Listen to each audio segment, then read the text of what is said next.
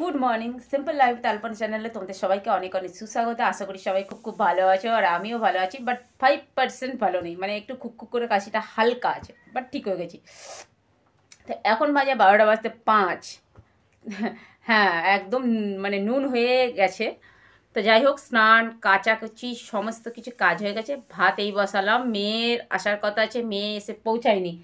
But O, okay phone করতে হবে। Phone পরে করব। আপাতত এখন সকাল থেকে পেটে কিছু পড়েনি, শুধু এক কাপ চা খেয়েছিলাম। তো সেই কিছু একটু খাব, কিছু। তো কিছু কি খাচ্ছি দেখো।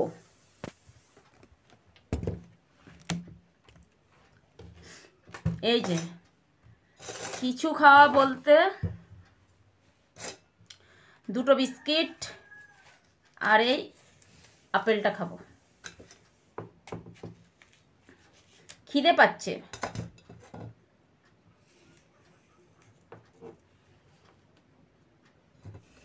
আমার কালকে রাত্রে অনেকগুলো সাপ কমে গেছে, জানো?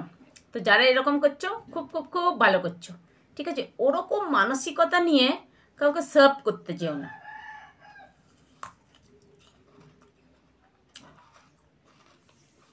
যারা করে না, তারা সেলফিশ মানুষ।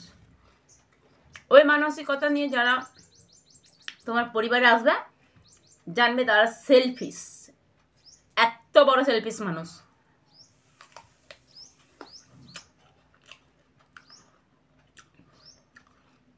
তো চলো, পরে দেখা আমি খাবারটা কমপ্লিট করি, মেয়েকে ফোন করি, আবার আসব পরে তোমাদের কাছে। পেট পুজোর আয়োজন চলছে। দেখাচ্ছি কি বানাচ্ছি, দাঁড়াও। মশলা কষানো হচ্ছে। হয়ে গেছে ফুলকপি, আলু, আর মাছ দিয়ে ঝোল করব। বেগুন ভাজা হয়ে গেছে। তো চলো চটপট তরকারিটা করে নিই।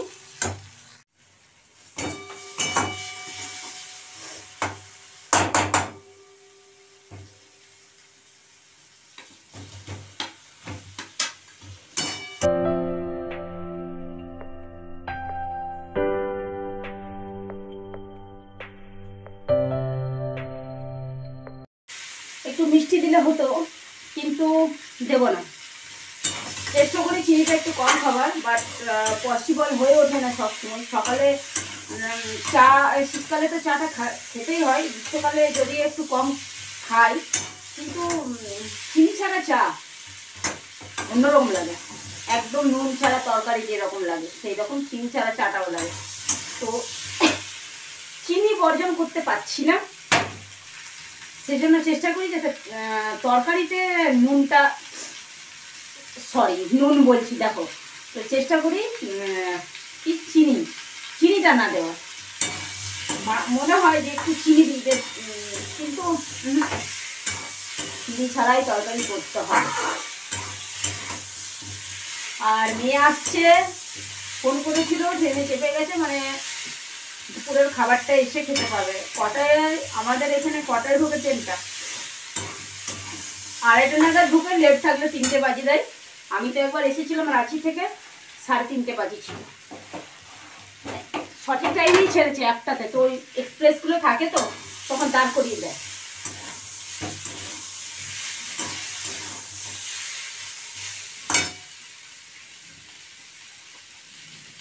কাঁচা লঙ্কা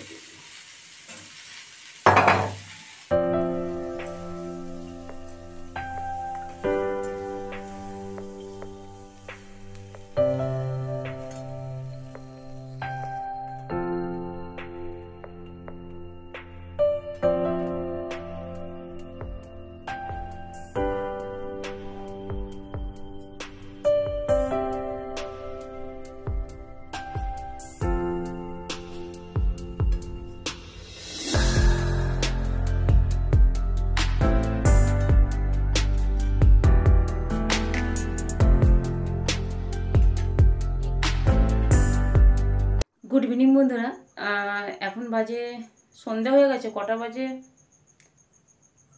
ছটা পেরিয়ে গেছে, যাই হোক। তো ব্লগটা শেষ করিনি, সেই জন্য সন্ধেবেলায় তোমাদের কাছে আবার আসলাম। মানে আমি এখন চেক করলাম। তো সেই জন্য এলাম। তো চা বসিয়েছি ওদিকে, আর এদিকে আটা মাখলাম, দেখাচ্ছি। আটা মেখেছি, এটা রুটি করব। আর এদিকে চা বসি, তো চাটা করি। আর চাটা করতে করতে আজকের ব্লগটা আমি শেষ করব। তো কাল দেখা হবে নতুন একটা ব্লগের সঙ্গে। তোমরা সবাই খুব খুব ভালো থেকো, সুস্থ থেকো, সাবধানে থেকো, আর যতটা সম্ভব বাড়ি থেকে কম বেরোনোর চেষ্টা করো। তো চলো, টাটা।